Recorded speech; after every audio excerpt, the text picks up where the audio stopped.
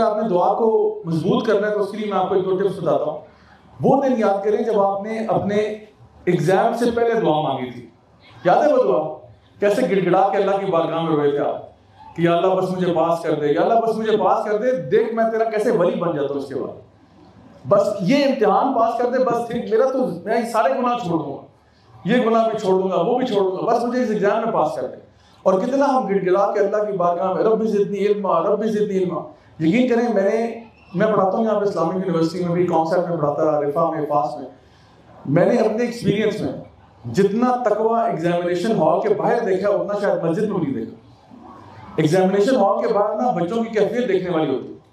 हर बच्चा रब्बी जितनी इल्मा, रब्बी जितनी इल्मा, रब्बी इल्मा। अल्लाह ला इलाहा इल्ला हुवल हय्युल कय्यूम।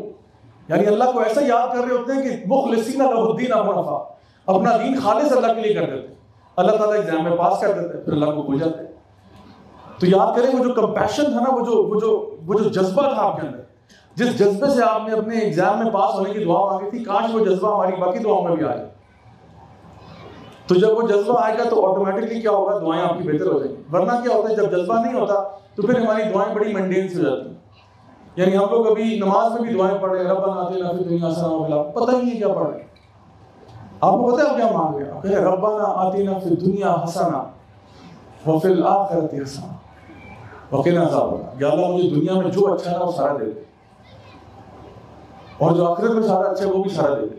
और जहन्नम के अजाब से बचा ले तो जो दुआएँ हम पढ़ रहे हैं ऐसे नहीं पढ़ रहे। इसमें कुछ फीलिंग्स हैं। और सबसे पहला स्टेप तो ये फीलिंग्स आने से पहले कि आपको मतलब पता हो आप क्या पढ़ रहे हैं? आप कह रहे हैं इहदिना सिरातल मुस्तकीम। मुझे सीधे रास्ते पर ले जाओ। सिरातल लदीना अनअमता अलैहिम उन, उनके रास्ते पर जिनको तूने इनाम किया, यानी अंबिया, सिद्दीकीन, शुहदा सालिहीन I want to be like them this is what you are saying in कि Allah I want to be like the prophets seriously यानी वाकई में आप प्रॉफिट बनना चाह रहे हैं? You want to be like the सिद्दीकीन and the शुहदा एंड द सालिहीन और फिर आप कह रहे हैं, उनका रास्ता नहीं जिन जो लोग जिन पे तेरा गजब हुआ या जो वैसे ही गुमराह हो गए तो दुआ जो है ना वो जितने कन्विक्शन के साथ, जितने पैशन के साथ मांगी जाए, उतना ही फ़ायदा है। सो मैं ये कहता हूँ कि दुआ ऐसी मांगे कि it gives you butterflies in your stomach जैसे मैंने अपने बाइक के लिए दुआ की थी तो अल्लाह ने अता फरमा दिया यानी दुआ के अंदर जो है ना पैशन जब आप लेके आएँगे, जब आप इवन इमेजिन करें उन चीज़ों को तो अल्लाह ताला के देने में वाकई में कोई कमी नहीं है। आपका कहीं अल्लाह क्यों नहीं तो अता फरमा सकते? आप दिल की गहराइयों से दुआ मांगे। अल्लाह, और दुआ ऐसी हो कि आपको एक्साइटेड कर दे। एंड फिर आप दुआ मांगे। आप देखिए, एक बच्चा, तीन किस्म के बच्चों की मिसाल है। एक बच्चा वो जो कहता है, अम्मी, मुझे चॉकलेट ले दे। अम्मी, चॉकलेट ले दे मुझे। अम्मी, चॉकलेट ले दे। अम्मी को तंग कर रहा है। एक कहता है, अम्मी, अच्छी अम्मी, आप इतनी प्यारी है ना प्लीज़ मुझे चॉकलेट ले दें। और फिर एक होता है जो माँ के पाँव पड़ जाता है। रो है प्लीज़ अम्मी, मुझे चॉकलेट ले दे। प्लीज़ चॉकलेट ले दे। अब तीनों की दुआ में फ़र्क है। जो गिड़गिड़ा के रो रहा है, वो तो कह रहा है, मेरा इसके बगैर चारा ही नहीं। और मैंने आपका पाँव छोड़ना नहीं जब तक मुझे मिलती नहीं। कभी अल्लाह से ऐसे दुआ मांगी है कि अल्लाह मैंने जाना ही नहीं। ये देना ही देना नहीं I need this so ask with that आज से कोई चार पाँच साल पहले की बात है। तो यहाँ से ना, बाहर से ना एक हार्डी डेविडसन गुजरता था।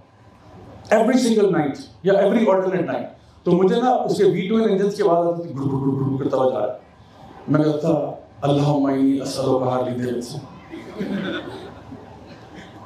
आप यकीन करें उसी के नेक्स्ट ईयर अल्लाह ताला ने काफ फरमा दिया। सो अल्लाह के देने में कोई टेंशन नहीं है हमारे माँ और मैं जितने दिल से माँगता था वो मुझे पता है। तो इंशाल्लाह अल्लाह ताला से चाहे तस्मा मांगे चाहे बाइक मांगे चाहे गाड़ी मांगे चाहे अल्फरदौस मांगे सब कुछ मांगे अल्लाह ताला से। अल्लाह ताला के देने में कोई कमी नहीं अल्लाह ताला जो जलाने वाली कराम है। और इसीलिए कभी कभार आपकी दुआएँ जो है वो बड़ी कॉन्क्रीट और बड़ी स्पेसिफिक भी हो सकती हैं कि आप किसी पर्टिकुलर चीज़ की दुआ कर हैं। और मैं समझता हूँ कि अपार्ट फ्रॉम द जनरल दुआ जो हम करते हैं ना कि अल्लाह मेरा दुनिया में खैर कर दे, आखिरत में खैर कर दे, अच्छी बात है। लेकिन कभी कभार ना स्पेसिफिक्स भी मांगा करें तो जब वो दुआएँ कबूल होंगी ना तो आपका ईमान और छत पे लग जाएगा। यानी जब आप किसी स्पेसिफिक चीज़ की दुआ करते हैं कि अल्लाह मुझे ये चीज़ ऐसे चाहिए तो जब वो हो जाएगी ना, फिर आप बड़े हैरान होंगे कि सुबह मैंने एग्जैक्टली ये मांगा था, वही मिल गया जो मैंने मांगा था। तो इस और इससे ये होगा ये कि आपकी जो डेडिकेशन और डिवोशन है दुआ के अंदर, वो भी इंक्रीज होगी। नबी करीम सल्लल्लाहु अलैहि वसल्लम ने फरमाया कि अल्लाह ताला जो है वो किसी गाफिल दिल की दुआ नहीं सुनता। गाफिल दिल से मुराद वही है कि जो मैंने आपसे कहा कि जहाँ पे दुआ का हमें पता ही नहीं हम क्या पढ़ रहे हैं। मुँह से अल्फाज निकल रहे हैं, लेकिन हमें पता ही नहीं हम क्या कह रहे हैं। कितने लोग हैं जो नमाज़ पढ़ते हैं? लेकिन हिदायत दूर दूर तक उनके करीब नहीं है। क्यों? क्योंकि उनको पता ही नहीं वो क्या मांग रहे हैं अल्लाह से। सिरातल मुस्तकीम पता ही नहीं। And they don't even care about it actually मैंने देखा एक प्रॉब्लम वो प्रॉब्लम ये है, अल्लाह ताला कुरान मजीद में शाद फरमाते हैं, कुछ लोग हैं जो कहते हैं, रब्बना आतीना फिद दुनिया फुल स्टॉप तो अल्लाह ताला कहते हैं, पता नहीं, दुनिया इनको मिले ना मिले, आखिरत नहीं मिलेगी इनको। क्योंकि आखिरत मांगी नहीं इसने। और कुछ लोग हैं जो कहते हैं, रब्बना आतीना फिद दुनिया हसना व फिल आखिरति हसना व क़िना अज़ाबन्नार तो इनको हम फिर देते हैं। मैंने ये देखा है, मेरे मुशाहिदे में ज़्यादातर लोग जो दीन की तरफ़ आते हैं ना, वो किसी दुनियावी वजह से आते हैं। यानी कोई बंदा अगर दीन की तरफ़ आया तो वो क्यों आया? कि या अल्लाह मुझे एग्ज़ाम में पास कर दे, या अल्लाह मेरी शादी करवा दे, या अल्लाह मेरे बच्चे करवा दे, या अल्लाह मेरी जॉब लगवा दे, या अल्लाह मेरा बिज़नेस करवा दे। बस रब्बा ना आते ना फिर दुनिया। सो डिड आई से मैंने आपसे कहा था, ये मांगना बुरी बात नहीं, ज़रूर मांगे। लेकिन अगर सिर्फ़ यही मांग रहे हैं देन प्रॉब्लम है। क्या आपकी विश लिस्ट के ऊपर ये है कि मैंने हिदायत मांगनी है अल्लाह ताला से? क्या आपकी विश लिस्ट पे ये है कि मैंने अल्लाह ताला से मफरत का सवाल करना है?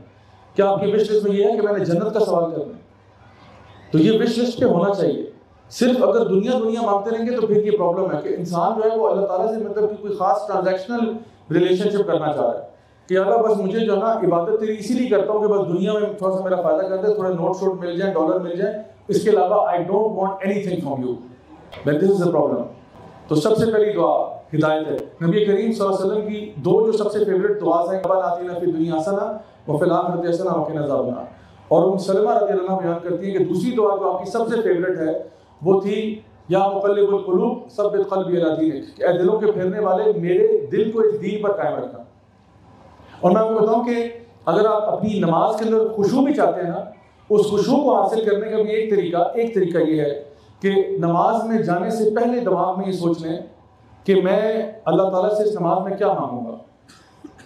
तो जब आपका दिमाग में ये बात होगी ना तो आपकी नमाज़ ऑटोमेटिकली इंटेंस हो जाएगी।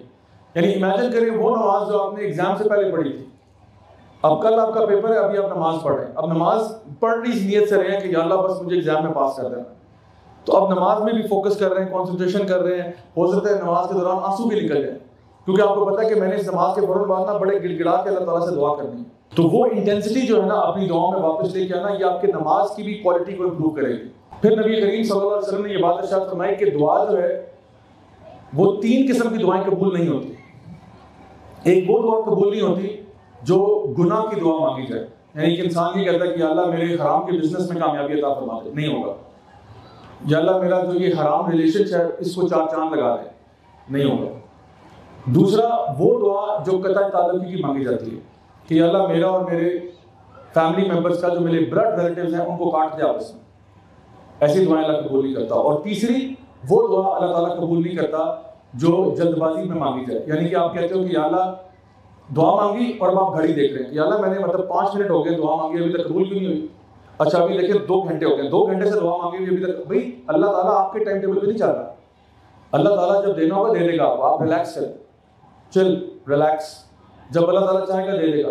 तो आप अल्लाह ताला के साथ जल्दबाजी नहीं कर सकते। You can be hasty with Allah सुब्हानहू ताला फिर आप सल्लल्लाहु की हदीस आपने फरमाया कि दुआ जो है वो कभी ज़ाया नहीं होती। उसके तीन ही अंजाम निकलते हैं। एक अंजाम ये होता है कि दुआ आपकी कबूल हो जाती है। आपने दुआ मांगी, दुआ फ़ौरन से कबूल हो गई दूसरा अंजाम यह है कि दुआ जो है कबूल तो नहीं हुई, लेकिन उसके बदले में अल्लाह ताला ने कोई आपके ऊपर आने वाली मुसीबत को टाल दिया। और तीसरी चीज़ यह है कि वो दुआ कबूल नहीं हुई, लेकिन उसके बदले में अल्लाह ताला ने आपके लिए जन्नत में कुछ ऐसा रख लिया कि जब इंसान, एक और हदीस में है कि जब वो जन्नत में जाएगा और उसके अमाल जो है, उसके बदले में उसको सारी चीज़ें मिल जाएँगी, अब एक खास दरवाज़ा खोला जाता है और उसको मजीद कुछ खजाने दिए जाते हैं। और वो इतने अमेजिंग खजाने हैं कि वो हैरान होता है कि अल्लाह मुझे तो मेरा जो मिलना था वो मिल गया। ये कहाँ से एक्स्ट्रा सामान मिल रहा है? और अल्लाह फरमाएँगे, ये उन दुआओं का नतीजा है जो तेरी दुनिया में कबूल ना हो सकी थी। तो वो उस मौके पर ख्वाहिश करेगा कि काश मेरी कोई दुआ कबूल ना होती। तो दुआ का कोई नुकसान नहीं है, कोई साइड इफ़ेक्ट नहीं है। दुआ के फ़ायदे ही फ़ायदे हैं। आप, इसीलिए मैं कहता हूँ कि आप, अगर मैं अभी यहाँ पे अल्लाह ताला से हेलीकॉप्टर की दुआ करूँ ना कि अल्लाह मुझे हेलीकॉप्टर अता फरमा।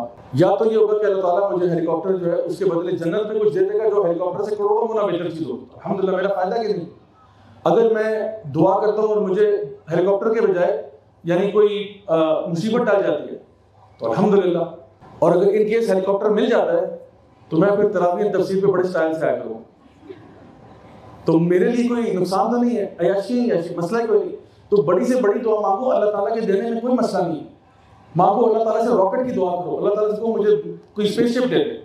और अल्लाह ताला यकीनन इंसान को ना, जो उसने मांगा होता है, उससे बेहतर अता फरमाता है।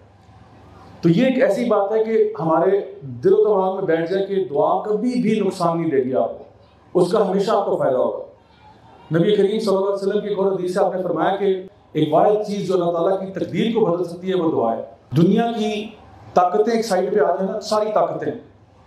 क्या अल्लाह ताला की तकदीर को बदल सकती हैं? दुनिया की सारी ताकतें आ जाएँ एटम बम लेके आ जाएँ न्यूक्लियर वॉर हेड्स लेके आ जाएँ, अल्लाह ताला की तकदीर को बदल सकते हैं? नहीं। लेकिन एक अकेला बेचारा मोमिन अल्लाह से दुआ करता है, वो तकदीर को बदल देता है।